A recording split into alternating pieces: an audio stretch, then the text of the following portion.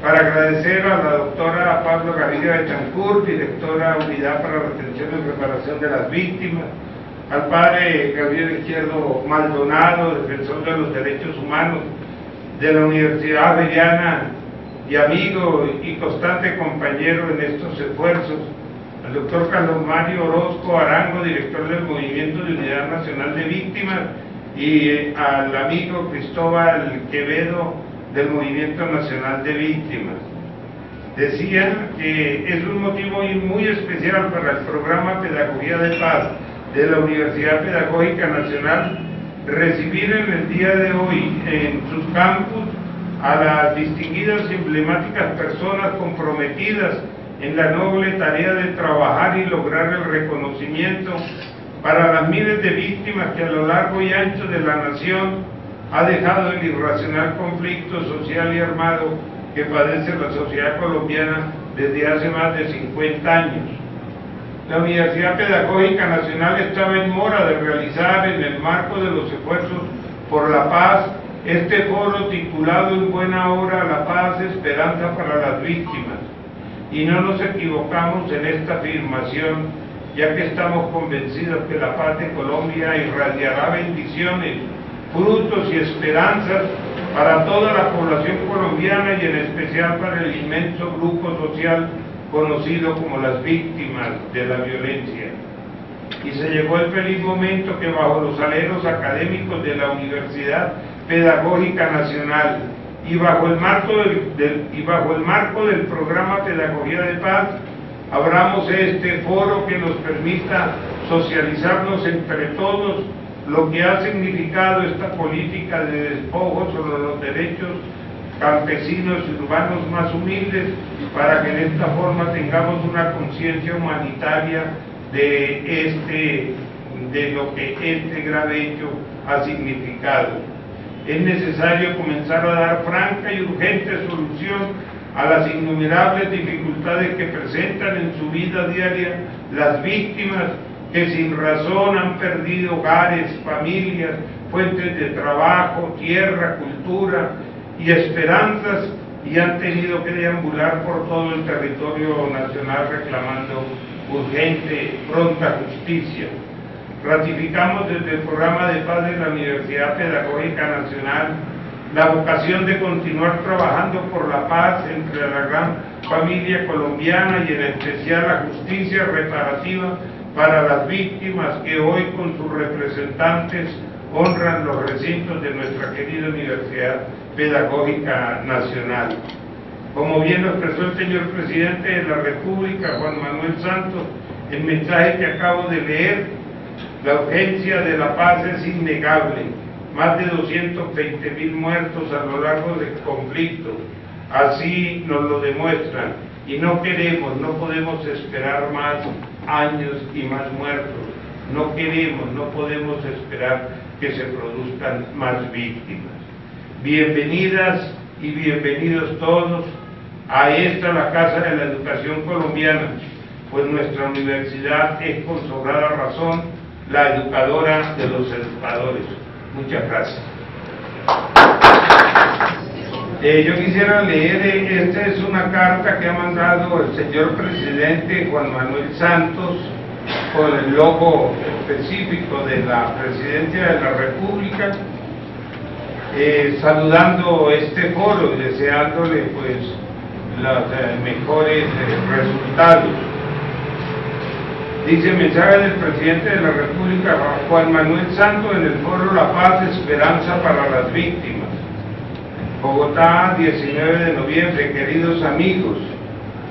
De corazón les digo que me hubiera gustado acompañarlo, pero espero que este mensaje les haga llegar todo mi aprecio y la reiteración de mi compromiso por la paz y con quienes han sufrido las consecuencias de nuestro conflicto. Quiero enviar un saludo muy especial a la doctora Paula Gaviria, directora de la Unidad para la Atención y Reparación a las Víctimas, al padre Gabriel Izquierdo, defensor de los derechos humanos, a Carlos Mario Orozco y Cristóbal Quevedo del Movimiento Unidad Nacional de Víctimas. Programa Paz y por supuesto todas las personas, especialmente a las víctimas que asisten hoy a este oportuno foro. Y, muchas gracias a la Vicerrectoría de Gestión Universitaria de la Universidad Pedagógica Nacional por organizar este evento.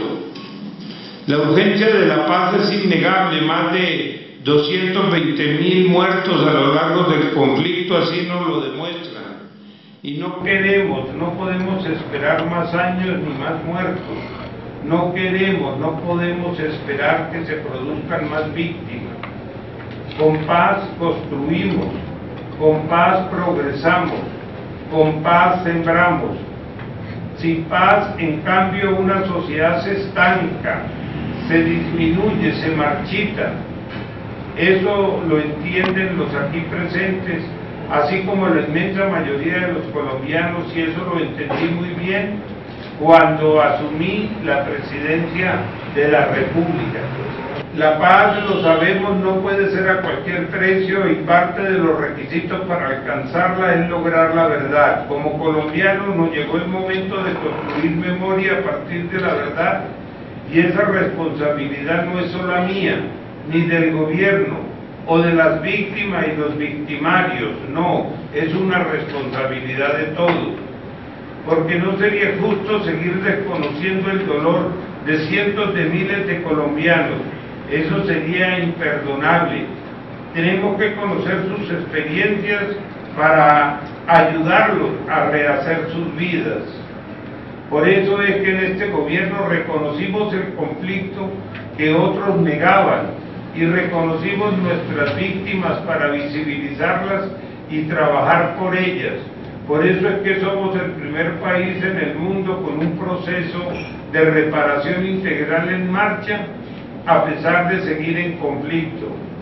Este es un proceso donde la indemnización va de la mano de la reconstrucción de los proyectos de vida y donde más de la mitad de las víctimas que hemos indemnizado participan en construir sus planes de reparación para que ésta sea realmente integral.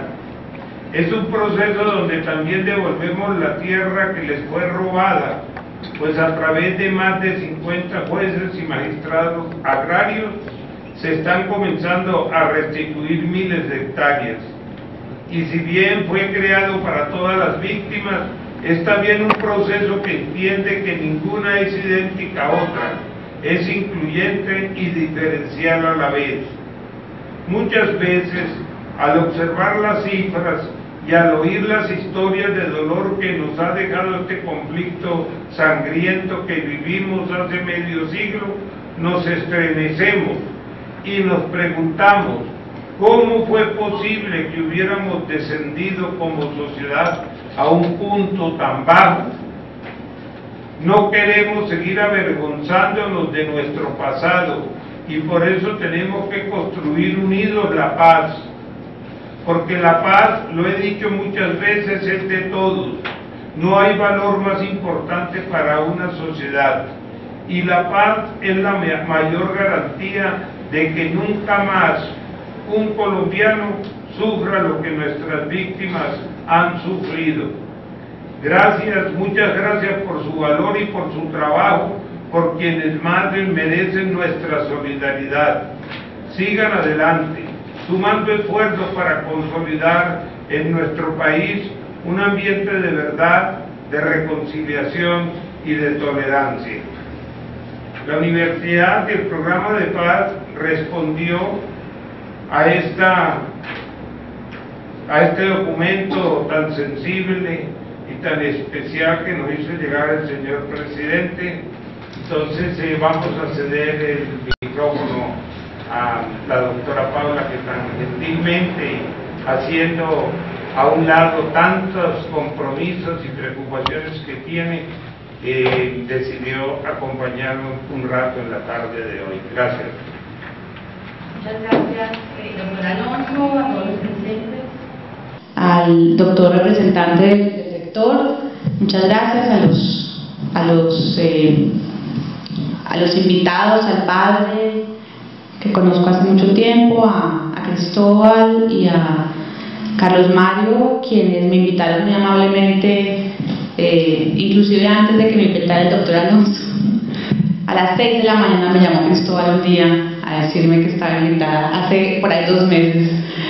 Eh, se me iba complicando la cosa porque el año se acabó sin darnos cuenta y nos quedan muchas cosas por hacer, como es obvio, y la agenda se vuelve muy apretada en este momento del año.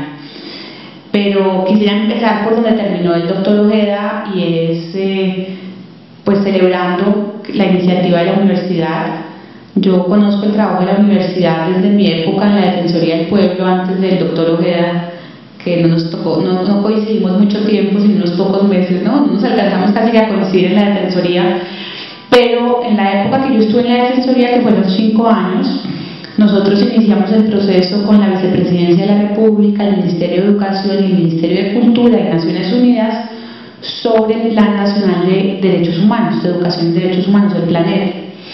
Y ahí recuerdo pues que la, la pedagógica fue clave en ese proceso, pero adicionalmente la Defensoría del Pueblo tenía un programa muy bonito que era el de promoción, el de promotores de derechos humanos. Y en algún momento ese proyecto lo trabajó con la pedagógica y fue muy fuerte el apoyo técnico, obvio, de, de la Universidad de, Educadora de los Educadores eh, y creo que es un rol fundamental el que cumple la universidad en este momento y, y que deberíamos pues obviamente seguir buscando espacios en donde volvamos, como dicen algunos, que la, que la paz vuelva a ser sexy. Eh, la paz todavía no ha, no ha logrado ubicarse en un lugar, a pesar de que las encuestas empieza a subir y la credibilidad frente al proceso, etcétera, empieza a ganar espacio, pues debería ser un tema que, que fuera casi que arrollador en términos también de convocatoria, etcétera, este tipo de escenarios. Entonces, pues cuenten conmigo profesor y, universidad en general para continuar escenarios de, conversación y discusión y sobre todo en un tema tan importante y por eso pues estoy yo acá porque yo no soy digamos la vocera del gobierno para estos temas, hay un equipo negociador etcétera que tiene además como la la, la tarea y la misión de hablar del tema, yo no, no la tengo entonces pues no podré dar detalles porque además no los conozco pero sí podría hablar de lo más importante y es como el, el, el, nombre del, encuentro, que es eh, la esperanza de las víctimas en el proceso de paz. Cuando yo vi ahí un poquito la, el ojo izquierdo, lo amplié un poquito ahí para mirar cómo lo tenía escrito el doctor Ojeda, y lo tenía escrito sin signo de interrogación. Yo no sé por qué yo tenía en la invitación la idea de que era, una, era, era un signo de interrogación la paz, esperanza para las víctimas, como pregunta. ¿Era con signo de interrogación? Bueno, usted lo lee sin signo de interrogación, lo cual me gusta que sea asertivo. Entonces yo me lo soñé con interrogación, eh, pero me parece muy importante que no la tenga y que lo, lo asumamos como, como una premisa y, y algo dado, que finalmente nosotros hemos recogido eh, y aquí me acompaña Jairo Rivas, que es asesor de la Dirección para los temas de paz. Nosotros acompañamos al Congreso de la República, las comisiones de paz, en los diálogos que tuvieron con víctimas y con organizaciones en todo el país, un poco para, pues si bien era un espacio independiente, el Congreso de la República, nosotros queríamos estar al tanto de lo que las víctimas proponían, decían, reclamaban, sugerían, en esas mesas para también nosotros ir adecuando la respuesta desde la política a esas víctimas. Un poco el mensaje es, para nosotros, la paz no se empezó a construir cuando se empezó a conversar en La Habana con las FARC y cuando obviamente teníamos la esperanza de que se dialogue también con el ELN. Para nosotros el primer paso hacia la paz fue la radicación en el Congreso del proyecto de ley de víctimas y su posterior sanción y hoy tener la ley 1448, ley de víctimas y de restitución de tierras. Así lo asumimos en la unidad para las víctimas desde que empezamos la tarea. Eh, o si no sería, digamos, un poco frustrante el trabajo. Si nosotros, habiendo asumido la reparación a las víctimas en medio del conflicto, la restitución de las tierras en medio del conflicto, pero sin pensar que el conflicto algún día iba a terminar, sin tener la esperanza que algún día iba a terminar, pues es un trabajo bastante frustrante, ¿no? Porque, bueno, las, las personas aquí que representan eh, a las víctimas saben, y que además son víctimas ellos, ellos mismos, eh, saben todo lo que implica poner en marcha eh, esta política de víctimas, de atención y reparación a víctimas, eh, y lo que implica además hacerla en medio de la guerra. ¿sí? Nosotros decimos un poco en la unidad que tenemos una parte de la unidad que está dedicada a atender los efectos de la guerra y a construir y reconstruir sobre esos efectos y a transformar un poco, eh, ayudar a transformar las vidas de esas personas y los efectos que, que el conflicto causó en ellas. Pero otra parte de la unidad para las víctimas está dedicada a mitigar los efectos de la guerra porque estamos atendiendo los desplazamientos masivos, intraurbanos en Buenaventura, eh, en la última del Valle de Antioquia, eh, digamos, las víctimas siguen sucediendo. Y a mí me impresiona mucho que el país no se vuelque en torno a una opción y una ventana de paz cuando el horror de la guerra sigue ahí. Y las víctimas hoy en día están siendo revictimizadas y tienen miedo precisamente porque el conflicto persiste. Entonces, de alguna manera, pues la Unidad para las Víctimas, desde que asumió su tarea, sin saber que iba a haber unos posibles diálogos en La Habana, la asumió con la esperanza de que algún día el conflicto iba a terminar. Y así nosotros trabajamos todos los días de nuestra vida. Eh, el otro tema que creo que es muy importante, yo nunca había estado tan feliz como estuve el sábado en Alejandría, Antioquia, eh, cuando ya les digo lo, que dijo el presidente, que me imagino que todos además copiaron. Eh, y ese tema, digamos, de, a mi modo de ver, el presidente no tenía otra opción.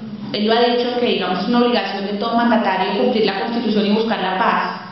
Pero era como la única opción ética en este momento y la que debería ser la opción ética de todo el país, de toda la sociedad. Y es, obviamente, reparar a las víctimas. Eso tendría que ser algo que es un propósito nacional no solamente un propósito de un gobierno, de un presidente, sino es un propósito de todo un país. Tiene que ser una, una causa, una causa nacional, es poder acompañar a esas víctimas, saldar la deuda con esas víctimas, que todos tenemos que ver en eso, no solamente el Estado, sino todos que de alguna manera fuimos indiferentes a lo que estaba pasando y en algunos casos el Estado mismo fue parte de eso y causó los daños.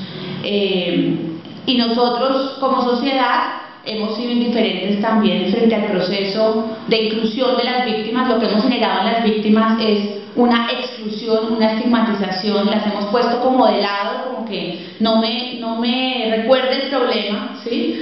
Eh, entre más lejos mejor. Acuérdense una época que todavía persiste de, mandatarios locales que decían, no, mándeme las víctimas como otra parte, porque además las víctimas, un poco decían los alcaldes, no votaron por mí, eh, entonces yo por qué voy a tener que poner recursos para ellas, ¿sí? Son víctimas que vienen desplazados, que vienen de, otra, de otro municipio, digamos, yo no tengo ninguna responsabilidad con ellas.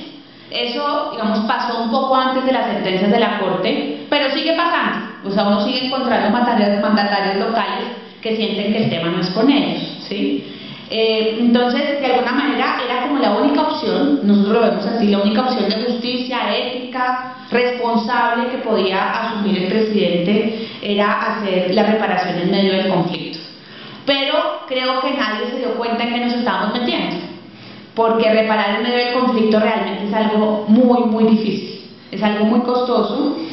Eh, y se hace sobre la base de una profunda desconfianza de las víctimas en el Estado, y en general, digamos, de la sociedad en el proceso. Eh, y les iba a decir que eh, me llama feliz en Alejandría porque el presidente dijo una frase que me pareció muy célebre, que fue la siguiente. Me han dicho que, o sea, hablando del tema de que gobiernos anteriores no reconocían la existencia del conflicto, y él dice, pues entonces no reconocían la existencia, les decía, de ustedes, de las víctimas, ¿no? Eh, y si a mí no van a decir traidor, si a mí me van a decir traidor por reconocerlas a ustedes, soy traidor a mucho honor. ¿Sí? Esa frase me encantó, perdón, pero me encantó.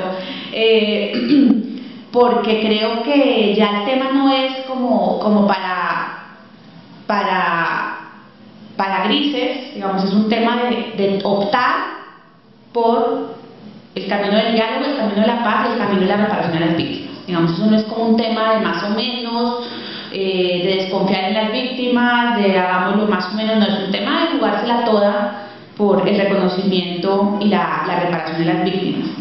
El otro tema de hacer esto en medio del conflicto, pero además de hacerlo en Colombia, aún con un conflicto terminado, es la magnitud del tema. El último registro de víctimas que ustedes pueden encontrar en la página web de la unidad www.unidadvictimas.gov.co es de 5.900.000 víctimas del conflicto. Ese es el corte a primero de enero. De noviembre, perdón, gracias. A primero de noviembre. La estamos actualizando mensualmente. Un horror. Eso nos debería dar a todos los colombianos y colombianas vergüenza. ¿sí? Eh, 5.900.000, estamos llegando ya a los 6 millones. ¿sí? La buena noticia es que hoy el Estado sabe ¿sí? que es un gobierno que se ha dedicado a saber cuántas son sus víctimas ¿sí? y las asume, segundo, y tercero, está aprendiendo a conocerlas, porque lo otro que nos importa mucho en la política es saber no solamente el número, sino saber quiénes son, dónde están, qué les pasó, qué, qué atención han tenido, qué atención no han tenido, eh, y lograr acompañarlas como en todo su proceso de recuperación, de reparación, etc. La mirada hoy del Estado frente a las víctimas también me parece muy importante y me parece la clave un poco para para la construcción y para que las víctimas puedan tener esperanza en la construcción de la paz. Y es una mirada hacia las víctimas desde sus capacidades. La unidad para las víctimas, y estamos tratando de que esto sea un tema de todo el sistema, de todas las entidades, no vemos a las víctimas como personas con necesidades pobrecitas o peor aún como las de mucha, mucha gente de la sociedad como algo estaba haciendo para haber terminado siendo víctima. ¿Sí? Él se hubiera del bando del otro y se lo merecía o cualquier cosa. Que ustedes saben que la gente, mucha gente todavía piensa así. Eh, la ley de víctimas le da a las víctimas el estatus que tienen que tener de ciudadanía y de sujetos sociales y políticos. ¿sí? Y nos obliga al Estado a generar las condiciones y los instrumentos para que la política pública sea construida con las víctimas, implementada con las víctimas y evaluada por las víctimas. Ninguna política pública tiene más teorías y más controles que la ley de víctimas. Ninguna. Yo no conozco, preséntenme la vez si. Tiene a todas las IAS, la Contraloría, la Defensoría y la Procuraduría, en un mecanismo de monitoreo propio de ellas. Se unieron las tres para monitorear la implementación.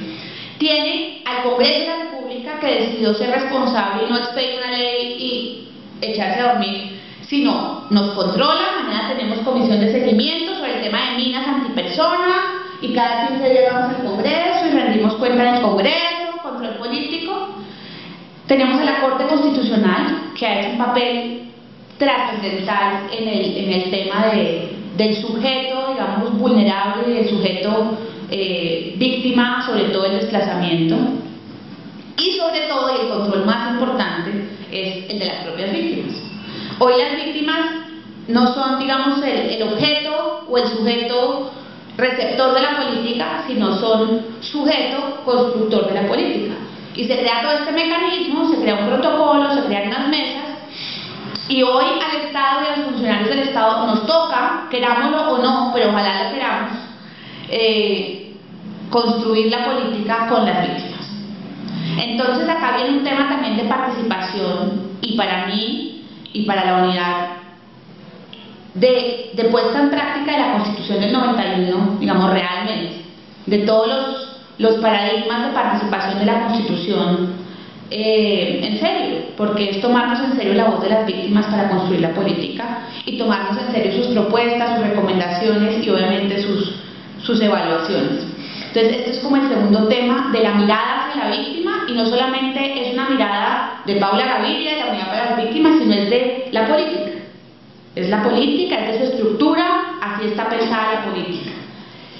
Eh, bueno, lo otro que hemos podido recoger es pues que yo había hecho muchas encuestas desde cuando estuve en la Fundación Social, yo hice muchas encuestas sobre la percepción de las víctimas sobre el tema de justicia y paz en su momento. ¿sí? Y mi percepción, pues mi percepción no, la conclusión de la percepción de las víctimas era que las víctimas no estaban dispuestas a que hubiera eh, penas alternativas para los victimarios, digamos, como que la mayoría de víctimas decían no estamos dispuestas a, ceder, digamos, y pensamos que las, los victimarios tienen que tener justicia, penas ordinarias, no queremos penas alternativas, queremos todo el peso de la ley para las personas que nos han causado el daño. Y yo siento que de alguna manera esto ha venido evolucionando hacia, ok, estaríamos eventualmente dispuestas a que no les caiga todo el peso de la ley, a cambio de tener verdad y tener reparación. ¿Sí? Y a cambio de que el Estado se comprometa como con soluciones integrales, o sea, con, que el Estado no se olvide de mí, de alguna manera. Eh, y lo que hemos recogido en las, últimas mesas, las últimas como conversaciones con las víctimas es eso.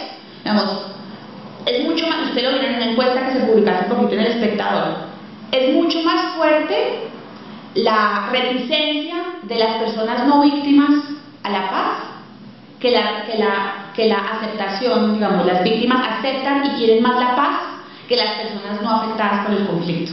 ¿sí? Hay en las víctimas mayor disposición hacia, porque han sufrido el conflicto y saben el impacto de la guerra.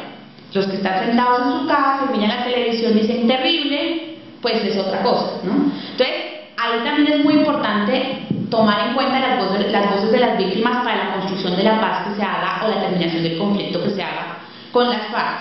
Y en ese sentido, las mesas de víctimas y otras voces, digamos, no, no dentro de las mesas de víctimas, eh, han dicho nosotros queremos estar en La Habana, ¿sí? Y queremos hacer parte de las decisiones que se tomen allá. Y a mí me parece importante porque tanto el, comisionado de paz como otros eh, negociadores plenipotenciarios han dicho, este es un tema que tenemos que construir, el defensor del pueblo se comprometió a ser de alguna manera representante también de ese interés. Eh, y pues nos parece, nos parece importante y nos parece que eso, eso va a pasar, eso va a pasar y eso creo que es, es, es fundamental que pase. Eh, lo otro que les quería contar era un poco, nos han preguntado, y con esto termino, nos han preguntado mucho, bueno, y la unidad para las víctimas, ¿qué haría o qué va a pasar con la unidad para las víctimas una vez se llegue a un acuerdo de terminación del conflicto en La Habana? ¿Sí? Entonces, va a sonar un poquito cruel, pero nosotros, con muchas limitaciones, ya sabemos cómo hacer esto en medio del conflicto. ¿Qué más quisiéramos que poderlo hacer sin conflicto? ¿Sí? Entonces, inclusive algunas veces nos dicen, bueno, si no se firma el acuerdo, pues, pues no, gravísimo y es la gran desilusión, pero pues lo venimos haciendo en medio del conflicto. Vamos, obviamente podría haber un escalamiento, ¿sí? Pero, pero digamos, lo aprendimos a hacer en las circunstancias en las que estamos ahorita. Entonces, bienvenida a una circunstancia diferente en donde nos podamos dedicar a reparar a las víctimas y no estar haciendo asistencia y asistencialismo con la ayuda humanitaria, sino poder volcar todos esos recursos a la reparación y al proceso ya de estabilización y de ciudadanía plena de las víctimas. ¿sí? Que todo el Estado se concentre y todos los recursos del Estado se concentren en lograr ese proceso de recuperación, digamos, plena de ciudadanía plena de las víctimas y no estar, porque además los recursos que le dedicamos y nos ponemos a ver platas, los recursos que nosotros dedicamos a la reparación y dedicamos a la ayuda humanitaria son los mismos. ¿Sí? El año pasado fueron 900 mil millones para la ayuda humanitaria y 900 mil millones para la reparación. Imagínense lo que sería estos 900 mil para acá. ¿Sí? Entonces, pues hay un tema ahí como, como eh, frente al tema. Eh, obviamente hay un tema frente al registro, nosotros vamos a poder saber, saber ya en definitiva cuántas son, porque es que es un número, es un reloj que crece, que crece, que crece. Poder cerrar eso y poder empezar a buscar a las víctimas que lo son hace algunos años, pero que no se han atrevido a declarar por miedo, pues sería una me encantaría poder dedicarme a eso, pero no estar todo el tiempo contando nuevas víctimas. ¿sí? entonces, podríamos como cerrar el registro y dedicarnos a identificar esas víctimas que no están registradas, a buscarlas, porque muchas no se han acercado por miedo, aunque su registro se ha, se ha disminuido un montón.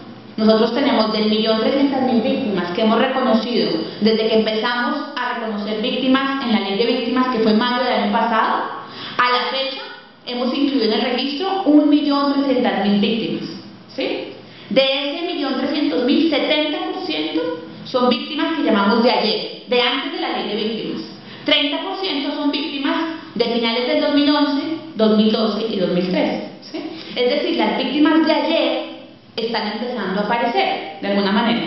¿sí? Pero no sabemos cuántas más son. Nos pueden aparecer muchísimas que están que, desconfían plenamente porque, porque pues sigue el conflicto. Entonces, este es otro tema que nos parece súper importante.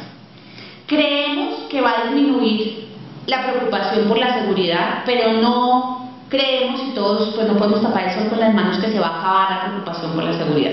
Ustedes saben que muchas de las víctimas hoy amenazadas, eh, desafortunadamente líderes de tierras asesinados, pues las investigaciones conducen a, bandas criminales.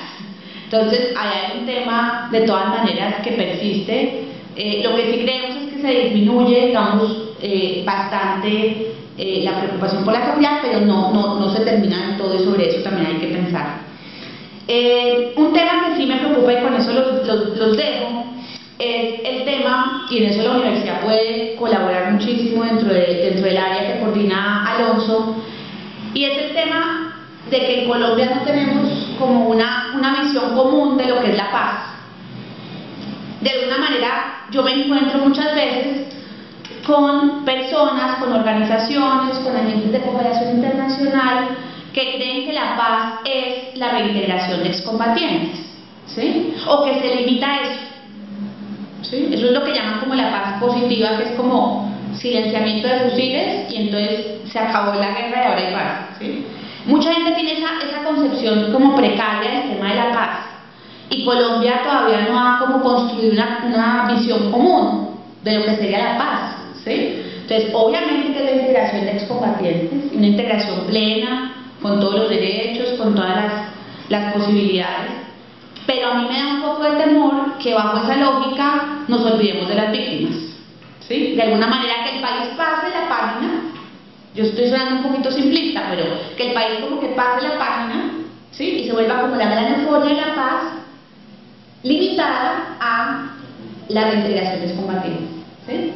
Y que de alguna manera digamos, como somos aquí en Colombia un poco de, ¿cómo se llama esa palabra? De que celebramos antes del tiempo y de que somos de ah, folclóricos y todo, logramos todo cuando hasta estamos en la mitad del de triunfalistas, ¿no? Entonces podríamos concluir, no, ya hay una ley de víctimas, más o menos anda bien la cosa, eh, ya, chuleado el tema de las víctimas. Y el camino que nos queda es obviamente enorme. Y nos queda obviamente el camino del encuentro de las víctimas con sus victimarios en las regiones, están próximos a salir de justicia y paz las personas, los postulados que ya cumplieron sus penas alternativas. Y nos toca mirar cuál va a ser la convivencia de esas víctimas con esas personas que pagaron su pena dentro del proceso de la ley de justicia paz.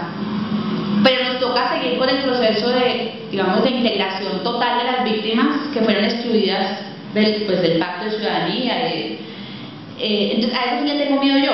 Lo que yo siento es que nos toca insistir, insistir, persistir, insistir. Y las víctimas van a ser las primeras que van a insistir, digamos, eso, pero no las podemos dejar solas otra vez. no las podemos dejar llamándole al Estado otra vez solas. Es el Estado que está con ellas bajo, digamos, bajo el ropaje de la ley de víctimas. Entonces, pues nada, en conclusión, creo que las víctimas tienen por qué tener esperanza en el proceso pero, pero hay mucho camino por recorrer. No podemos ser triunfalistas, eh, creo que tiene que haber una, algo que no hemos visto suficiente, no, una solidaridad mayor por parte de sociedad civil, de los privados, de la academia. Todavía es un tema como que pasa por el ladito, ¿no? Qué chévere que se esté haciendo, pero eso no tiene que ver conmigo, ¿no? Todavía es un tema en que pasa, ustedes lo deben vivir todo el tiempo eh, creo también que hay un tema muy sensible en la solidaridad entre las víctimas. Hay un tema de tensiones también muy fuerte, ustedes lo, saben, digamos más que yo, de mucha tensión entre las víctimas, de mucha tensión entre las personas que no se desplazaron, pero que sufrieron el conflicto y las que hoy están retornando y están recibiendo del Estado acompañamiento y las que se quedaron dice, bueno, pero yo me quedé y a mí que, que, me va a dar algo, ¿no? Entonces hay algunos temas también sobre los cuales no hemos pensado suficientemente que, que amerita, digamos, que, que escenarios como los de la universidad nos sigan pensando y reitero pues el compromiso de la unidad para seguir acompañando este tipo de escenarios. Muchas gracias. Bueno, muchas gracias a la Universidad Pedagógica por esta invitación. Un saludo muy especial a la doctora Paula Gaviria, eh, al padre Gabriel Izquierdo, que nos acompaña, al delegado de la Rectoría, muchas gracias por acompañarnos, al doctor Alonso Ojeda y a Cristóbal Quevedo, mi compañero y amigo de, de batallas en este proceso. Yo quiero iniciar con dos frases que me llaman mucho la atención. Una de ellas es, si yo estoy en paz conmigo mismo, por lo menos hay un lugar en paz en el mundo. Y la otra frase es que no hay caminos para la paz. La paz es el camino. Gandhi, un hombre que luchó por, por la vida, la libertad y sobre todo eh, por la humanidad. Y eso me parece muy importante. Eh, hay que empezar por lo que la doctora Paula menciona en sus últimos aportes y es esa percepción de la paz la percepción de la paz en el inconsciente colectivo de los colombianos y las colombianas. Todo se reduce al conflicto interno armado en el país, que si bien el informe de memoria histórica nos muestra 220 mil víctimas, como lo menciona el señor presidente en su misiva, es casi un 20% de las muertes violentas en Colombia. El 80% de las muertes en Colombia violentas provienen de la violencia social, del narcotráfico, de la lucha entre bandas delincuenciales, entre pandillas, de la intolerancia que tenemos hoy en el país y que tenemos empotradas muchos años, y que también tiene un universo de víctimas que hay que mirar de manera detallada hacia hacia esa franja poblacional que sufre el país.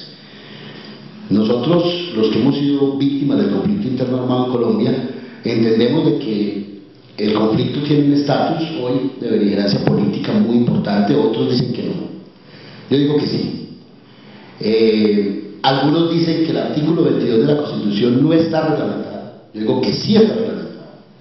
Hay un marco jurídico para la paz que que se trabajó en este proceso con el presidente Santos y que me parece que le ha abierto las puertas al diálogo, le ha, abierto las puertas a la posibilidad de la reconciliación y le va a abrir las puertas a los conflictos, que es un escenario que abordar una vez eh, haya una dejación masiva de las, de las armas por parte de los grupos insurgentes. Eh, Dos cosas nos preocupan en el contexto. Lo primero es los enemigos de los diálogos. Los enemigos de los diálogos. Esto eh, confunde mucho más a los ciudadanos que, como bien lo decía la doctora Paula, son residentes a ese proceso, porque no han sufrido de manera directa. Es un, digamos, más bien un bombardeo informativo, pero no han sufrido en carne propia los horrores de la guerra. Esas 14 modalidades de violencias que se conjugan en los conflictos internos armados o en los conflictos armados. Eh, y obviamente eso puede llevar a que en una posible consulta de refrendación de acuerdos a los ciudadanos, perdamos la consulta. Perdamos la consulta y eso sería retroceso terrible sobre los avances en, en esta negociación entre las partes, entre el gobierno y, y la guerrilla de las FARC inicialmente, porque sabemos que ya hay unas conversaciones adelantadas muy importantes con el ELN, que en otrora algunos grupos disidentes eh, firmaron esos acuerdos y conozco de cerca esos acuerdos.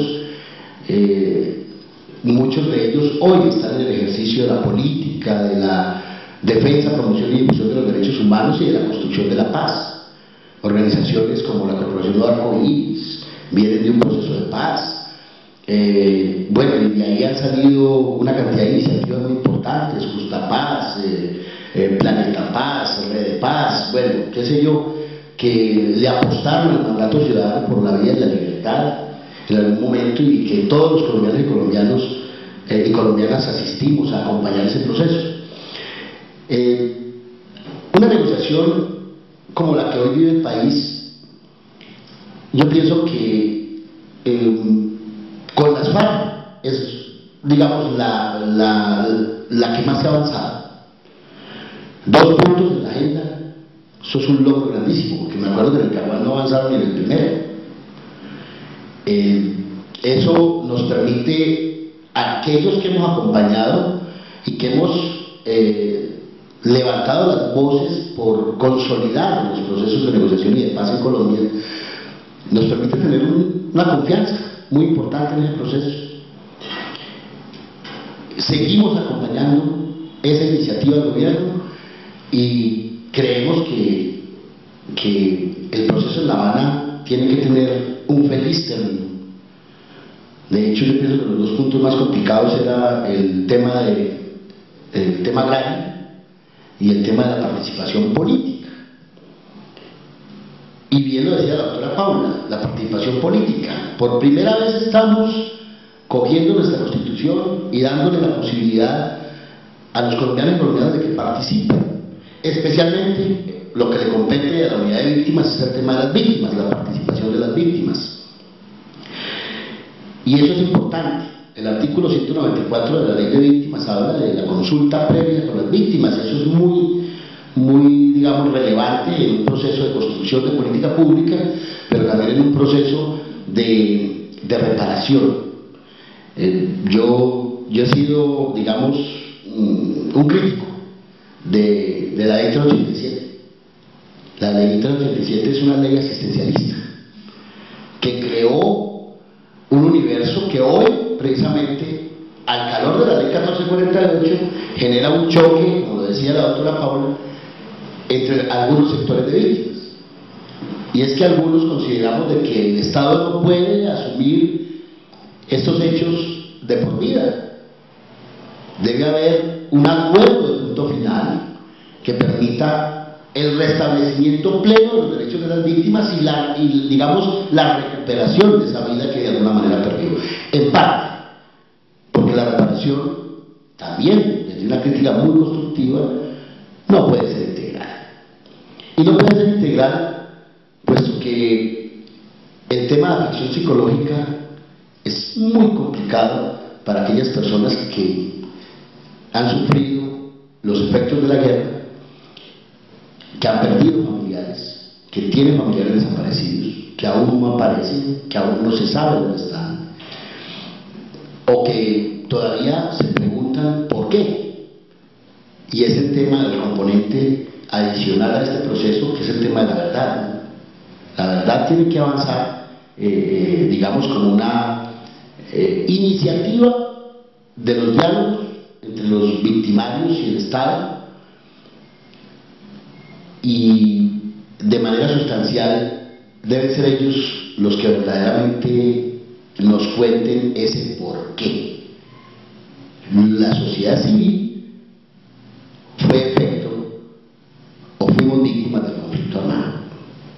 Eso me parece que es fundamental. Lo que no se vio en la ley de justicia y paz, que también pues tenemos profundos reparos, la sociedad civil en ese momento estamos pidiendo una, una, una ley de verdad, justicia y reparación, pero finalmente ese gobierno adoptó por, por implementar la, la ley de justicia o la mal, mal llamada ley de justicia y paz y, someter eh, a unas penas alternativas los victimarios y obviamente, como decía la doctora, pues ya hoy están eh, para cumplir esas penas y salir a ejercer su derecho a la participación. En algunas listas ya están algunos de ellos y, el Estado colombiano eh, avanza significativamente en respetar la diferencia y, en tratar de mantener la democracia, que es, eh, digamos, una de las formas más imperfectas de gobernar, pero la más perfecta en otros aspectos. Eso es una, una digamos, una, una paradoja, pero es, cierto. Las dictaduras y los, eh, las monarquías ese tipo de cosas están mandadas a recoger en, el siglo XXI. Por eso hablamos de, de las políticas del siglo XXI. Eh, esos, todo ese entramaje de cosas tienen que sumarse a, a que tengamos trazos importantes que compartir con nuestras nuevas generaciones, que muchos de ellos hoy comprenden, porque están en las universidades eh, agitando unas banderas también de la reconciliación, pero que muchos de, de, estas generaciones apenas están en proceso de formación y escasamente escuchan lo que les muestra la cajita de 32 pulgadas, lo que los medios de comunicación a diario nos muestran. Y eso es un bombardeo de cosas que confunden de manera sistemática lo que podría denominarse un proceso de construcción de sociedad en Colombia. Es supremamente grave que los noticieros le jueguen a malas informaciones. Y lo digo por los recientes hechos.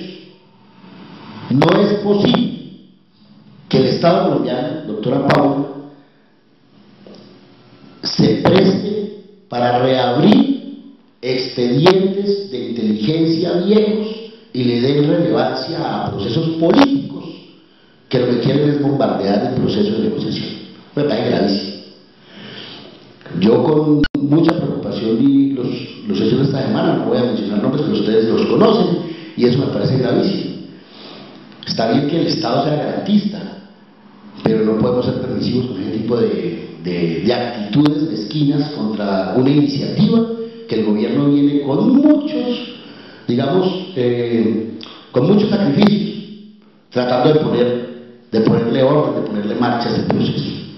Entonces, yo pienso que las víctimas, en su gran mayoría, no sé si hay víctimas que piensen diferente a nosotros, pero por lo menos los que convergemos en el Movimiento Unidad Nacional de Víctimas del Conflicto estamos totalmente de acuerdo que en Colombia se tiene que firmar un acuerdo de desmovilización, dejación de armas y desmonte gradual o definitivo del conflicto interno armado en Colombia que tenga ese estatus de violencia política. ¿Y cómo vamos a abordar el posconflicto con todos los fenómenos, eh, digamos, de violencia emergentes, algunos productos del el sometimiento a la justicia de los grupos paramilitares y otros que vienen, eh, digamos, eh, de la degradación social que vivimos, eh, porque obviamente somos un país en construcción y eso hay que tenerlo en cuenta. Yo creo que el, conflicto, digamos, lo que decía la doctora Paula, de, empezar a reparar sin conflicto, eso sería fabuloso. Yo estoy de acuerdo con ustedes. Eso tiene que ser así porque vamos a poder avanzar significativamente no solo en la identificación, sino en que las personas puedan volver con toda la confianza a sus territorios. Y vamos, estoy convencido de que la dejación de las armas de los grupos insurgentes nos va a permitir que nuestros campesinos vuelvan a la tierra, que volvamos a tener ese campo florescente, ese campo productivo, ese campo competitivo, si de manera, eh, digamos, efectiva aplicamos no solo los acuerdos con los grupos, sino también unas políticas agrarias mucho más profundas que le permitan las garantías a los campesinos de no migrar por problemas económicos y que la excusa sea el conflicto armado. No, porque yo pienso que el campo le falta es inversión, inversión fuerte. Eso nos permitiría entonces fijarnos en el conflicto urbano, en la urbanización del conflicto, en las nuevas violencias, en la violencia contra la mujer, es aberrante que en una sociedad como la nuestra, que ha avanzado ostensiblemente en la civilización, se tengan hechos tan degradantes como los que de alguna manera hemos visto en los últimos meses de violencias contra la mujer. Y eso me parece grave, porque entonces sigue siendo la mujer un referente, cuando la mujer dentro del conflicto armado también es la mayor víctima. Es una mujer madre, es una mujer esposa, es una mujer hija, es una mujer hermana, bueno, cualquier, en cualquier momento de la victimización está la mujer presente y eso es gravísimo. Entonces, eh, no solo la unidad de víctimas, sino los, las organizaciones que nos dedicamos a acompañar eh, los procesos organizativos de las víctimas, los procesos, eh, digamos, de formación de los nuevos escenarios, del abordaje de la reparación, del abordaje de la reconciliación, porque tenemos que también ayudar a construir la reconciliación. No podemos seguir empotrados en rencores que algunos otros grupos de víctimas todavía mantienen, que los respetamos mucho por su posición política, pero que no compartimos. Y es que nos quedemos toda la vida haciendo una crítica destructiva de, las cosas y no nos sumemos a la consolidación de los nuevos escenarios para la paz. Eso me parecía a mí que también hay que decirse de manera respetable y, de decirles de que no juguemos más a, seguirnos hiriendo, a seguirnos atropellando de manera verbal, eh, en escenarios políticos, etcétera, etcétera, sino que podamos entre todos encontrar esa reconciliación que los colombianos y las colombianas necesitamos para avanzar significativamente en la reorganización, en ese nuevo orden de país que estamos pidiendo a gritos consolidar. Muchas gracias. Muy buenas noches a todos y a todas. Y aquí a la doctora Paula, al doctor Padre Izquierdo, a Carlos Mario, el doctor Abad. Eh, yo considero que cuando nos sentamos a hablar un poco sobre, el, sobre el foro, analizábamos lo que estaba sucediendo en el país y es que eh, las mayoría, la mayoría de las personas dice sí, queremos la paz, pero en el momento de generar la voluntad y el deseo interno no lo hay. Y esa era como la, la reflexión que teníamos en ese momento y decíamos, bueno, hay esa preocupación y, y decíamos, debíamos eh, crear escenarios eh, donde pudiésemos hablar con la gente y crear un escenario donde le vendamos la esperanza de la paz a la gente. Yo considero que el país eh, ha trasegado ya más de 50 años de violencia, 60 años de violencia, y lo que ha tenido eh, los intervalos de paz han sido muy cortos, o ya podemos decir que desde de, la guerra de los mil días, y luego vinieron, vinieron eh, viene la guerra bipartidista, y después de la guerra bipartidista arrancamos con este conflicto armado que lleva asumimos que ya 50 años, 60 años, entonces ya se han levantado varias generaciones. Se levantó la generación de mis abuelos, se levantó la generación de mis padres, me estoy levantando yo en esa generación y se está levantando la generación de mis hijos. O sea, tenemos cuatro generaciones continuas levantados en el marco de la guerra. Entonces lo que hace que eh, en medio de todo nos volvamos eh, nos volvamos eh, insolidarios o nos volvamos eh, como que no nos toca la guerra. Si nosotros miramos las personas miran todos los días los noticieros y todo lo que está ocurriendo frente al tema de la guerra, ah, sí, pusieron una mina, ah, sí, mataron a fulano, ah, hubo un combate, pero ya la gente en la ciudad lo ve como un tema normal y 50 años de esas noticias pues ya se ha vuelto normal el tema entonces cuando ya se va a hablar de un proceso de paz, la gente dice, no, eso es, desde que yo estaba pequeñito, mi mamá me hablaba, mi abuela me hablaba del, conflicto, eso ya no tiene solución. Y a mí sí me parece eh, muy súper importante que cada uno de nosotros nos podamos volver multiplicadores para que realmente el proceso de paz se pueda generar, pueda generar una esperanza al país. Nosotros que hemos sido víctimas del conflicto, que nos ha tocado salir corriendo, que nos han matado la familia, que han secuestrado familiares de nosotros, que muchos eh, tuvimos que emerger a una ciudad y comenzar a vivir en condiciones eh, bastante difíciles, algunos en la indigencia, otros al pie de un, de, un familiar y, y, nos ha ocurrido muchas cosas, pues hombre, realmente anhelamos que haya la paz, porque nos ha tocado, pero desafortunadamente muchos de nuestros compatriotas eh, si no llega a la puerta un mal, no se dan por enterados. Entonces, si no, ha, si no ha tocado su puerta para ser víctima del conflicto, el tema le resbala. El tema pasa desapercibido. Entonces, ahorita en el momento de construir la paz, que es un tema que debe importarle a los 44 millones de colombianos, la gran mayoría dicen sí la queremos, pero no, no trabajamos y ponemos nuestra parte, nuestro aporte como colombiano para que realmente se dé. Yo sí considero que, que, ese es un punto de reflexión para todos los colombianos. Ahora yo creo que el, la otra grave, grave problema que ha tenido La Paz es que a nosotros nos vendieron una, una pedagogía, ocho años nos vendió el expresidente Uribe una pedagogía que la paz se construía exterminando al enemigo. Y entonces todo el mundo está en el referente de que acabamos el enemigo, de que acabamos el enemigo y entonces va a venir la paz. Y, muchas personas están esperando eso. O sea, que a punte plomo acabemos en la guerrilla y entonces ya en ese momento va a haber la paz porque la acabamos a punte plomo. Y realmente, como nos hemos dado cuenta, esa metodología no ha funcionado. Si bien es cierto, la han reducido, pero no ha funcionado. Pero sí nos estamos gastando grandes inversiones en la guerra y digamos todavía estamos dejando entonces al país relegado frente al tema de la atención social que necesita. Entonces es un tema también para reflexión de todos y de, todas y todos, porque yo considero que la única forma de llegar a la paz es a través del diálogo, no hay otra forma. A través de la guerra va a ser muy difícil exterminar el enemigo. Podemos tardarnos todavía 50, 60 años y en 60 años volvemos a sentar aquí a decir lo mismo. Llevamos 110 años, 120 años de conflicto y no hemos sido capaces de acabarlo. Eh,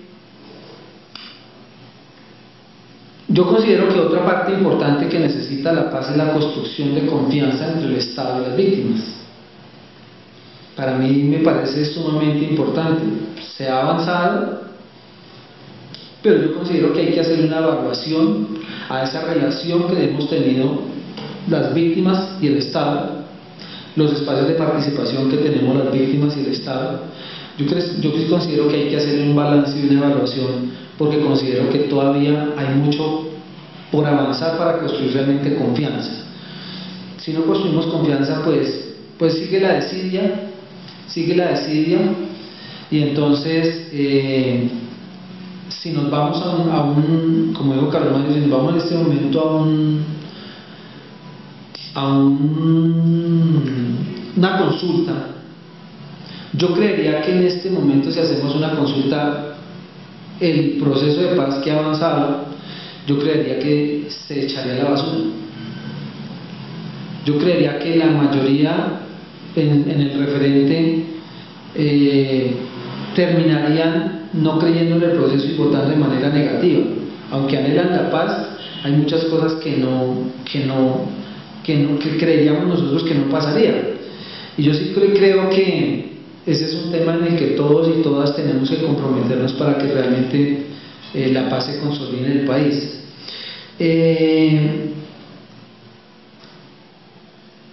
yo quisiera, así como Carlos Mario habla de dos palabras célebres, hay una que, la invito a la reflexión y yo considero que es para todo el pueblo colombiano. Y es que ayer nos desplazó la violencia, que hoy no nos desplace la indiferencia. Porque es que la indiferencia es la que está acabando el país. ¿Ya? Y esa indiferencia, ese, yo creo el mayor enemigo que tiene la paz en este momento es la indiferencia de todos y todas. Yo creo que tenemos que dar un salto ahí. Si nosotros logramos pasar de la indiferencia y cada uno apersonarnos de ese, de ese tema y hacerlo nuestro, yo creería que podríamos lograr la paz en el país. De lo contrario va a ser muy difícil. Y yo sí pienso en que eh, quiero heredarle a mis hijos, a mis nietos un país en paz. Yo sí creo que debe ser el trabajo de nosotros como legado, para que no le dejemos riqueza, pero como legado, le podamos dejar un país en condiciones de paz, que pueda eh, comenzar a pensar en avanzar hacia el futuro, la construcción de política pública social, yo creería que sería la mejor herencia que podríamos dejar a nuestros hijos en este momento.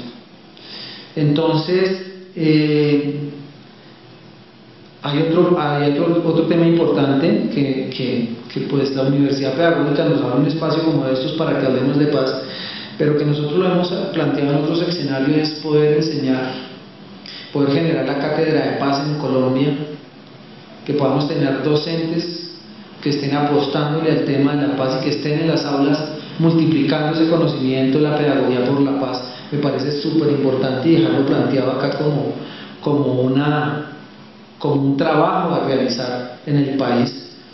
Eh, considero que en general las víctimas deseamos la paz, necesitamos unos escenarios, yo creo que consideramos otros escenarios importantes para poder avanzar en este tema, sobre todo interlocución con el Estado.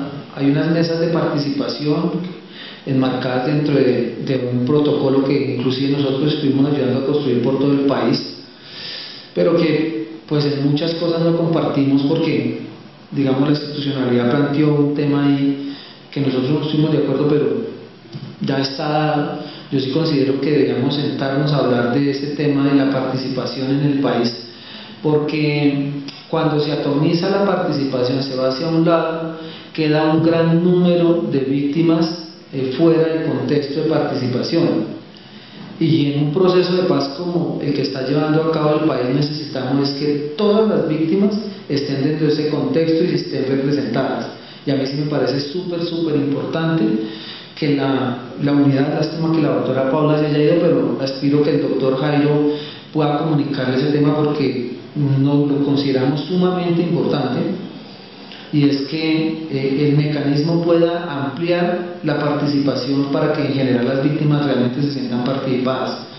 Si analizamos el mecanismo de participación anterior al, al actual, se redujo la participación de las víctimas y las organizaciones en el país en este momento quienes están a la cabeza, no, yo creería que no desdoblan la información porque no tienen quien, quienes hagan seguimiento como tal, no hay asambleas generales en esa estructura. Entonces yo sí consideraría que hay, para, para frente al tema de la paz y la participación es muy importante que se abran otros escenarios con las víctimas para poder eh, avanzar en esto. Agradecerles a todos a ustedes por estar acá. Yo sé que no es un tema así como tan, como dicen muchos, es un tema ladrilludo, pero que realmente es importante para todos y para todos los colombianos. Anhelamos la paz y esperamos que cada uno de nosotros, los 44 millones de colombianos, podamos tomar de la mano y hacer una sola, una sola cadena eh, buscando que realmente la paz llegue a este país. Muchas gracias. Bueno, mil gracias a ustedes por su paciencia, mil gracias a la Universidad Pedagógica, a los representantes de la unidad de víctimas, a la doctora Paula, que ya se nos fue, aquí al querido doctor, su representante, y sobre todo a las víctimas. Yo le pedí al doctor Ojeda el que hablara de último, porque primero habló del Estado, por lo menos los representantes del Estado, después hablaban las víctimas, y yo soy un simple miembro de la sociedad, pero como miembro de la sociedad quiero hablar. Quiero comenzar con una narración, siendo muy pequeño, Papá tenía varias haciendas, pero una hacienda aquí cerca de la sabana, en la población de Chocontá, finales de los años 40, recibimos casi a unas 150 personas que venían de La Palma, Jacobí, huyendo de la violencia, eran liberados. Yo me acuerdo desde muy pequeño esas narraciones porque esto nos pone en contacto con la vida. Si bien la doctora Paula nos dice que las víctimas son sujetos, pero eso es un elemento absolutamente importante. Me contaba una señora, todavía me acuerdo que se llamaba María, que le tocó salir con unos niños de brazos y les tapaba la boca para que no supieran los otros que estaban ahí. Es una experiencia, a mí también, pues ya tengo canas y entonces uno ya tiene derecho a hablar de otras cosas. Hablan y hablan y hablan de los 60 años de violencia que va, La violencia nosotros la tenemos y los señores que nos gobiernan hoy, con todo respeto, sus familiares y todos esos fueron los que realizaron violencias en otras partes. A ellos todos se les perdonó y hoy día estamos bregando y discutiendo eh, y rechazando porque queremos hacer la paz. Bueno, entonces yo lo que digo en, la, en el problema de la violencia y de las víctimas existe todo un mundo interno y sobre todo un dolor. El dolor, eh, según las sociedades científicos de eh, psicología que analiza el dolor, dice, no, es una, una sensación con emotividad, eso le pone al dolor, pero el dolor es una cosa horrible porque estas personas no solamente salieron corriendo por la noche, sino conocieron los cortes de franela, los cortes de corbata, que hoy han reeditado sobre todo los paramilitares con toda su tecnología macabra. Es que cuando nosotros hablamos de víctimas estamos hablando de eso. Bueno, entonces yo sí quisiera, pues como colombiano, pues a mí me ha tocado también salir corriendo del país, entrar, me han matado 34 amigos, entre otros nuestro compañero de la red universitaria por la paz, Alfredo Correa Andrés, pero otros amigos en el Congreso, en otras partes. Mis amigos del CINEP, Mario Calderón y El Alvarado, cuando yo era director, y eso sigue en el país. Entonces, lo segundo que yo quiero, primero quiero dejar claro que existe todo un universo y un universo del que nos hemos olvidado. Porque cuando uno oye la unidad de víctimas, yo creo que han hecho cosas maravillosas. Pero yo sí creo que los imaginarios no los están promoviendo los imaginarios de víctimas. Y yo creo que eso es muy importante como lo voy a analizar ahora. En segundo lugar, yo quisiera referirme a la paz. Es decir, yo sí creo que la paz trae esperanza a las víctimas, porque sin paz no hacemos nada. Y quiero referirme a un trabajo que se hizo en la Comisión de Conciliación Nacional, de la cual soy miembro. Durante dos años se trabajó con unas 50.000 personas, ricos, pobres, campesinos, de todo tipo de gente, para que dijeran, ¿la paz dónde está? Porque esto es muy importante. Yo creo que la gente dijo, sí, nosotros queremos un eh, diálogo y un acuerdo sobre algunos, las personas que están aquí en ese conflicto, pero ese es solo un elemento. Ellos hablaron de la inequidad. Yo sí ciertamente me río en mi interior cuando el gobierno da fe, cifras y cifras que ya bajamos, vaya y salga la calle. Yo vivo en la Plaza Bolívar, como el presidente pasa en carro y en helicópteros, pues no ve. Pero a nosotros nos rodea no solamente los desplazados, van con bucelas allá a tocar, no sé qué desplazados serán, pero continuamente. Es decir, hay una inequidad tremenda de pobreza. Entonces, para la gente que respondió esto de todas las regiones del país, el primer problema que nos quita la paz es la pobreza y una pobreza con unas condiciones tremendas y una inequidad que continúa. Yo sí critico muy fuertemente, pues no solamente a otros gobiernos están tratando, pero sí a este gobierno que se, se queda mucho en imágenes. Yo siento mucho y en ese sentido es un poco light.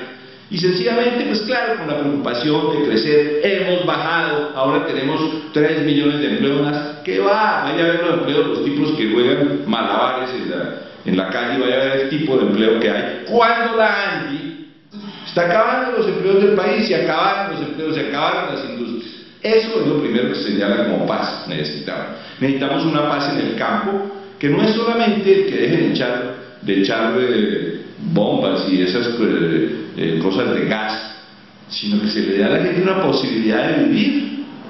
Esto que acaba de ocurrir en nuestro país, eso no es un cuento, con, la, con el levantamiento de los campesinos, sobre todo los campesinos boyacenses, que no se mueven con nada, son absolutamente individualistas, ahí salieron y se organizaron.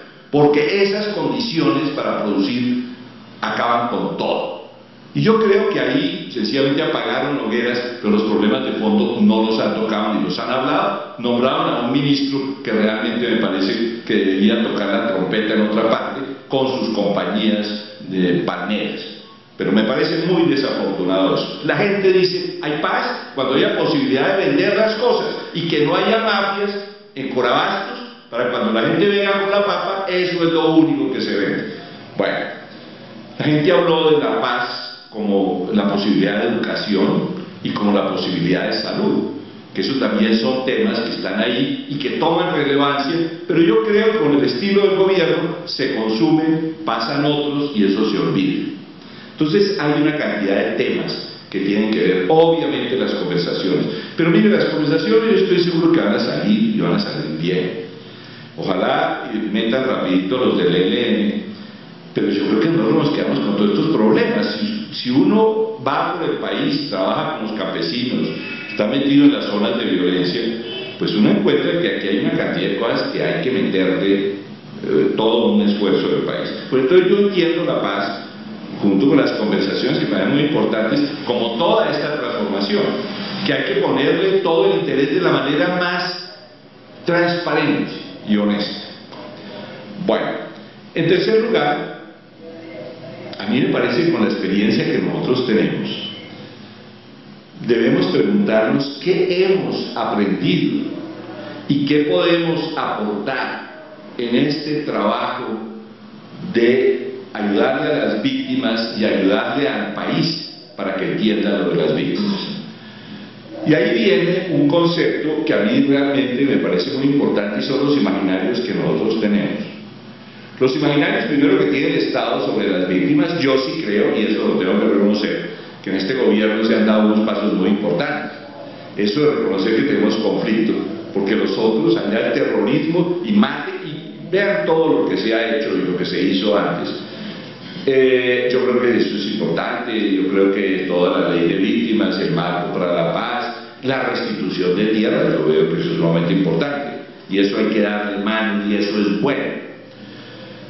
Pero yo sí creo que el Estado debería pensar en su imaginario sobre las víctimas. Es decir, ¿quiénes son las víctimas? Son sencillamente, por allá las personas a las que les tengo que solucionar una situación hacen esfuerzos muy grandes. Yo, y me encanta que la doctora Paula porque le iba a decir, yo estoy muy contento que ella esté en ese puesto, que la conozco desde hace mucho tiempo, sé que es una persona capaz y es una persona que tiene sentido de la gente. Pero a mí sí me parece que habría que, que examinar Sí, yo creo que hay un gran avance a tener un imaginario de víctimas como sujetos, como personas. A mí me parece que eso es lo central. Las víctimas son gente, no son números. Nos hablan de 6 millones de víctimas, pero las víctimas tienen un corazón, tienen una familia, tienen una historia. Y a mí me parece que cuando usamos nosotros solo los números que son aterradores, nos olvidamos de todo esto. En segundo lugar, a mí me preocupa el imaginario que tienen las víctimas de ellas mismas. Obviamente el universo de 6 millones de personas es enorme.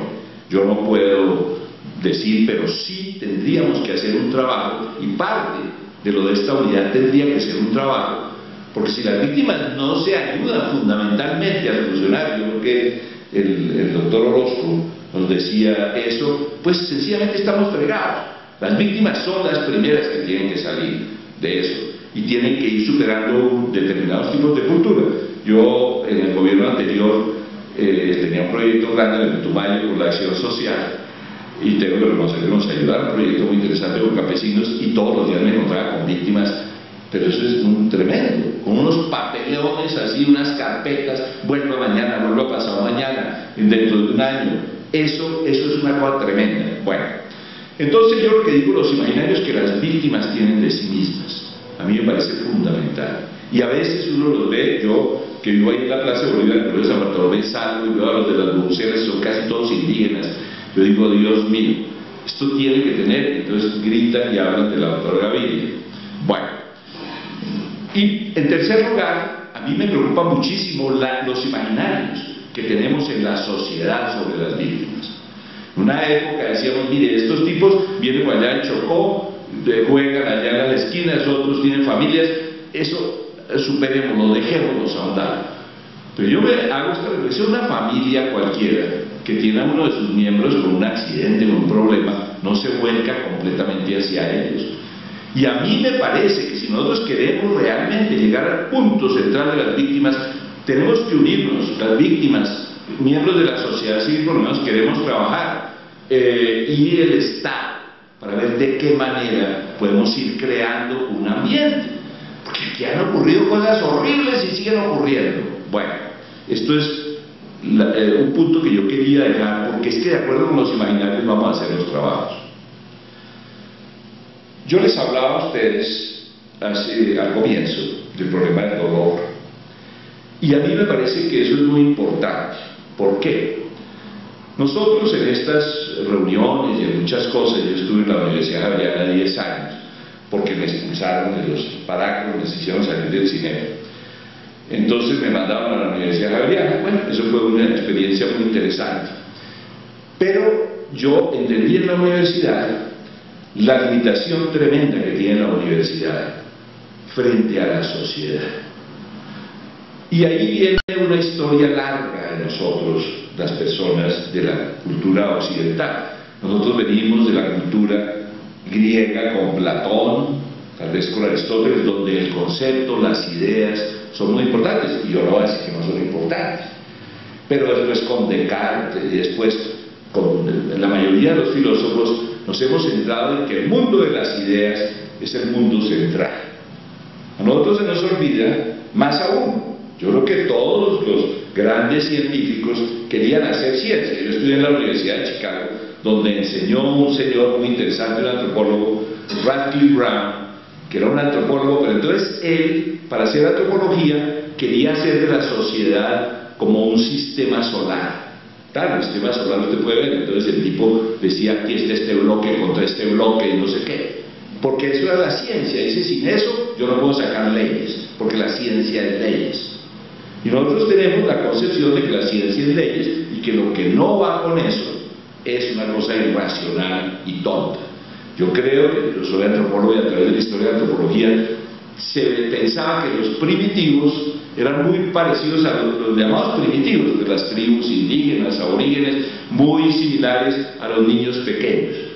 Inclusive Freud tiene un ensayo sobre eso y muchos dicen son niños pequeños, no habían pensado ellos. Pero el punto que yo les quiero decir y hacer notar es que yo creo que la ciencia, lo mismo que la religión, ha dejado por fuera, la religión sataniza todo lo que es del cuerpo, todo lo que llaman instintos, eh, cosas de la sexualidad, cosas que se refieren al cuerpo. Usted, ustedes ven toda la posición liberal de la ciencia, sencillamente eso no cabe, porque eso no se puede comprobar. Pero ¿qué es lo que mueve al mundo?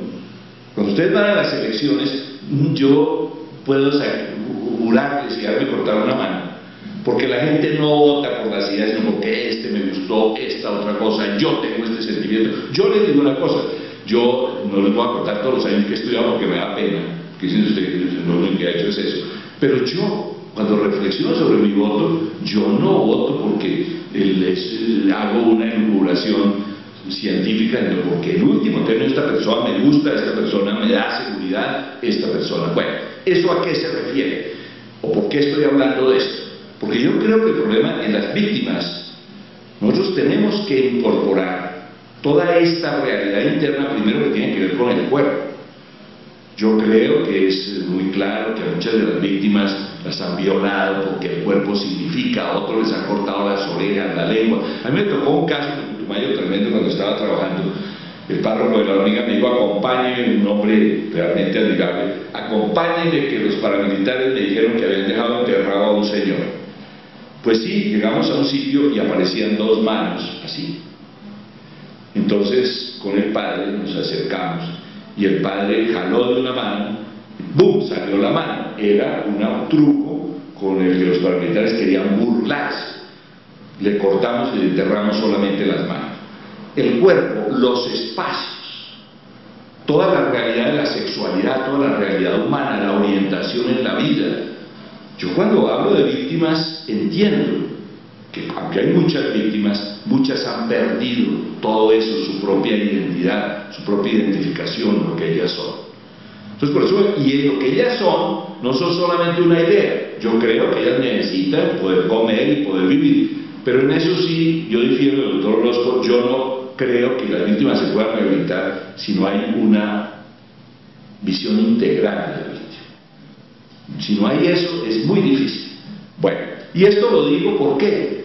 Pues porque yo creo que, y aquí paso al otro punto que me interesa, que todo tiene su unión. Es que yo he trabajado hace 20 años eh, con una organización que es muy especializada, pero es que ahí es donde viene algo que a mí me parece muy importante en el trabajo con las víctimas.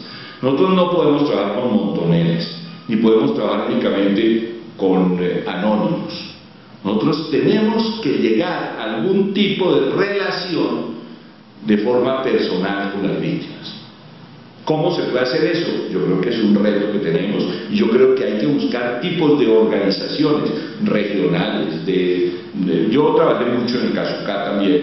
Allí había como de departamentos, de formas como la gente pueda irse encontrando. Porque si bien, y ustedes han discutido todos los problemas, es muy importante que tengan un auxilio, que puedan vivir en eso. Pero a mí me parece que las personas tienen que rehabilitarse interiormente de la mejor manera posible. Bueno, yo, eh, eh, nosotros hemos trabajado a lo largo de 20 años con las víctimas de la rama judicial. Esto obviamente comenzó con eh, la tragedia de Palacio Justicia, siguió y nació la organización que se llama FASOL en la Rochela, donde los paramilitares mataron a un grupo grande. Después ha seguido con la masacre de Usme, que la hicieron los de las FARC. Después, mire, este año hemos tenido, la gente puede decir, no, es que es poquito, que son 5 frente a 5 millones, no es nada, pero hemos tenido 5 asesinatos de personas de, la, de CTI, de jueces, de todo, y tenemos en este momento 53 amenazas contra los jueces de tierras. Y eso no son los de la guerrilla, los de la guerrilla no tienen nada que ver en eso, en este caso, son otros. Por eso yo cuando digo de la paz hay que buscarla por otros lados también. Claro, me parece muy importante lo de La Habana, pero si no somos capaces de detectar esto, es imposible. Entonces, a mí me parece que es muy importante, en primer lugar, y es una de nuestras enseñanzas, porque digo no que nosotros enseñemos, sino lo que hemos aprendido. Y es que yo creo que podremos ayudar a las víctimas en la medida en que podamos identificarlas más allá de una montonera. Eso lo pienso yo. Y he trabajado también en Casucá con los jóvenes, porque ustedes son jóvenes, podemos hacer unas organizaciones de jóvenes, pero ahí es sumamente importante el que la gente se pueda encontrar. Lo segundo que yo digo es absolutamente central la organización. Sin organización no se puede hacer nada. ¿Por qué? Pues yo creo que es de conocimiento público el que si uno se quiere, quiere superar las adicciones, el alcohol, eh, si yo soy adicto al juego, o si soy adicto a la comida, lo primero que uno hace es buscar un grupo de gente que le ayude a superar eso. Yo creo que es una de, de las realidades que hemos aprendido. Por eso la organización donde haya la posibilidad de un encuentro que sea personalizado y donde las gentes puedan aprender o puedan comunicarse con los otros e ir eh, eh, dialogando y compartiendo sus situaciones es absolutamente central.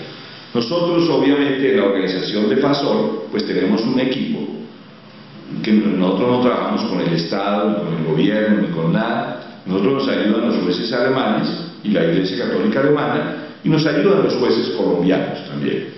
Y nosotros pues, buscamos una serie de recursos para poder pero, dijéramos, en la gama de víctimas que tenemos nosotros, aparecen en primer lugar las personas de la rama judicial, jueces, eh, personas de CTI, eh, mm, magistrados, obviamente, aparecen eh, fiscales, y aparecen, dijéramos, en una serie de, de elementos que los hemos identificado y ellos lo saben.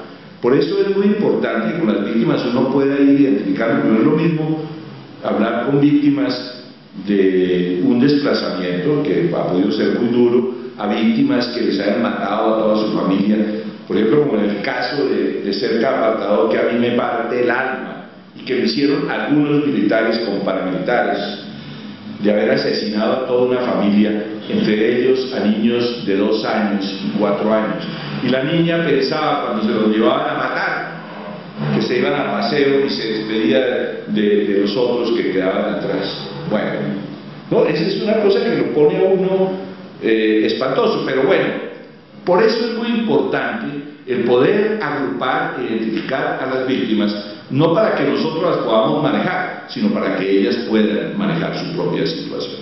Entonces, con los jueces nosotros tenemos asesinatos. En estos 20 años ha habido casi unos 400 asesinatos, que es muy grande. Porque cuando uno oye hablar, pues oye hablar de que la Morelli está peleando con el señor fiscal, que el otro se robó, que el otro. Pero esto lo están sufriendo los jueces hoy. Los presionan los paracos, los que quedan, los presionan los narcotraficantes, porque ellos tienen que dar sentencia. Por ejemplo, la vida de la jueza que dio sentencia sobre este señor que tomó el, Palacio de Justicia, que dirigía eso, eh, y que lo condenó, y que ahora, pues entonces te van hordas de gente, es una persona que ha vivido los últimos cinco años la tragedia más horrible, no puede hablar con nadie, si sale, y entre otras cosas la misma rama judicial le ha metido 50 juicios. Entonces uno dice, qué horror, qué cosa tan espantosa, eso está ocurriendo. Pero por eso es muy importante, bueno, junto con, con amenazas, porque hay muchas amenazas, secuestros, todo eso ocurre en la rama judicial y está ocurriendo. Eh, nosotros tenemos alrededor de, como digo, de unos 350 asesinatos, muchísimas amenazas, atentados, desapariciones, secuestros, obviamente exiliados, judicializados injustamente. Bueno, pero yo lo que les decía es que hay la organización. Cuando la gente sabe que no está sola y la gente puede recurrir a algún sitio en su departamento, en su región, por eso yo sí creo que todas estas oficinas tienen que buscar unas, obviamente que es el Estado, yo, uno a veces, como decían ustedes, no tiene que tener confianza en el Estado, yo todavía tengo mucha desconfianza. Toda la vida, eh, pues, yo trabajo mucho con campesinos, he tenido que dialogar con el Estado, pero no creo absolutamente en nada de lo que me dicen, o muy poco, pues sería el colmo. Y entre otras cosas les digo, yo acabo de llegar del Departamento del Atlántico, donde hace tres años se rompió el canal del dique, hace 25 años nos pasó lo mismo, en nueve meses estaba arreglado. Y ahora con la eh, letanía de los millones y millones de, los que nos habla el presidente cada vez, todavía tienen agua después de tres años. El Banco Agrario no ha servido. Entonces yo digo, yo clamo y digo, esto, esto no está bien. Bueno, pero es muy importante el que las víctimas se vayan asociando y vayan creciendo ellas mismas y vayan teniendo ellas un imaginario. Por eso para nosotros es muy importante el área del crecimiento personal. Nosotros hacemos talleres de duelo, hacemos talleres de perdón y reconciliación, hacemos unos talleres de unos planes de vida que a mí me parece que son ejes de sentido, que cuando la gente los toma puede salir hacia alguna parte. Claro, me pueden decir que a nosotros nos desborda esto. Pues a mí sí me parece que las metodologías hay que ir mirando a ver cómo la gente se puede ir organizando, se puede ir encontrando. Obviamente tenemos ayuda psicológica, tenemos ayudas para los niños que quedan, para los niños, de tal manera que todos estudian y les damos unos aportes desde la primaria hasta la universidad. Pero eso se ha podido organizar porque ellos también están organizados. Yo acabo de venir de un encuentro de mujeres de, la costa en Santa Marta, que son estas, y yo creo que hay una fuerza y un, eh, y un eh, interés muy grande, pero en sus talleres también se trabaja toda esta cosa de la desinhibición corporal otra vez y de todas estas realidades internas que conforman nuestro mundo cultural. Es que nuestro mundo cultural tiene dos elementos, un elemento lógico, donde aparecen todas estas ideas y todas estas cosas que son muy importantes, pero aparece un elemento mítico que todos lo tenemos en nuestro inconsciente, en nuestra sensibilidad, en nuestra emotividad, en nuestros imaginarios que eso nos desborda en cuanto a las ideas. Entonces, por eso las personas que piensan únicamente, entonces hay que ayudarle a la gente para que tome esto y vaya creciendo y vaya haciendo sus proyectos de vida. Entonces nosotros decimos, es muy importante el identificar a los grupos, que los grupos vayan encontrando en sí también alguna identidad. En segundo lugar, que los grupos vaya eh, habiendo la posibilidad de hacer una serie de duelos y problemas psicológicos, pero desde el punto de vista social, no únicamente de la manera individual. Y ahí es donde los psicólogos pueden ayudar. Es muy importante que la gente de estos grupos se dedique a transformar su propia realidad, es decir, que se conviertan realmente en sujetos, pero que eso no sea un concepto. Yo estoy muy de acuerdo, como dice la doctora Paula, pero yo quería preguntarle, bueno, ¿y eso cómo se hace? Únicamente que ustedes vengan y discutan cuáles son las políticas del gobierno, yo creo que hay muchísimo más interiormente. Y por eso la gente, a través de una realidad que se llama solidaridad, se siente como formando una sola familia. El año pasado celebramos los 20 años, precisamente como un año exacto, que fue en noviembre, y a mí me impresionó mucho que la gente toda, pues vinieron de todas las regiones, había unas 400 personas, pero todos cuando ellos inventaron un himno vestidos de verde, porque el color es verde, todos sentían a sus muertos porque también hemos hecho unos trabajos de memoria ahí también. Entonces hay que incorporar todo eso para que la gente pueda ser ellos mismos. En este momento pensamos que es muy importante dar otro paso para la protección de los jueces. Y yo creo que dentro de todo este trabajo de víctimas tiene que haber un trabajo de prevención. Nosotros no podemos dejar que las cosas sigan y siguen. Con este lío de las víctimas, ¿por qué no se previene determinadas cosas? ¿Por qué se sigue matando a la gente? En estos días, eh, miércoles, se llevaron el Premio Nacional de Paz los campesinos de las Paz. Son unos santos a los que yo les prendo las velas, he podido trabajar algo con ellos, ayudarles algo. Pero estas gentes, después de que han hecho con ellos seco y sopa, los han expulsado, inclusive crearon, de acuerdo con todas estas metodologías bastante uribescas, porque lo que hace Uribe es crear otra ONG para, si trabajamos en derechos humanos, entonces él crea una ONG de derechos humanos que va contra los derechos humanos. Bueno, entonces así ha creado sindicatos que van contra estos tipos. Y se han eh, asociado y se han eh, vinculado a grandes eh, sindicatos. Bueno, entonces yo creo que ahí es muy importante el que la gente pueda superar y promover. Es que yo sí creo que los, eh, eh, víctimas en diversas regiones son los que tienen que promover, pero de una manera articulada. Si ahí no se articula junto con los otros campesinos unos planes de desarrollo agrario, volvemos y caemos otra vez en la cosa. Pero ¿dónde están los que promueven eso? No existe. Y entonces ahí es donde nosotros sí hacemos un llamado de nuevo a las universidades y a toda la sociedad. Y ahí es donde tiene que comenzar el gobierno un tipo de, labor a los medios de comunicación y en la creación de imaginarios y en la creación de compromisos. Nosotros hemos vivido con estos víctimas hace años.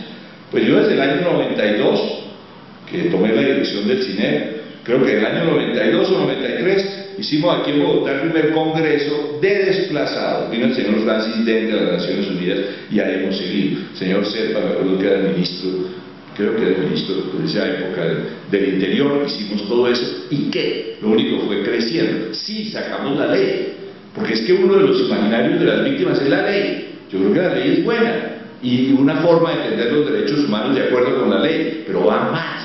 Si nosotros no logramos que las personas logren eh, salirse y poder eh, desde ellas mismas ir creando otras cosas. Para eso, yo digo, me parece muy interesante una, unidad de víctimas, pero si la unidad de víctimas no está muy articulada con el Ministerio de Agricultura, pues ahí se va a quedar con su grupito de víctimas y yo creo que no va a poder tener, han hecho mucho, yo no lo voy a negar, pero tenemos que hacer más. Bueno, esas eran algunas inquietudes para pensar y para reflexionar. Muchas gracias. いいね。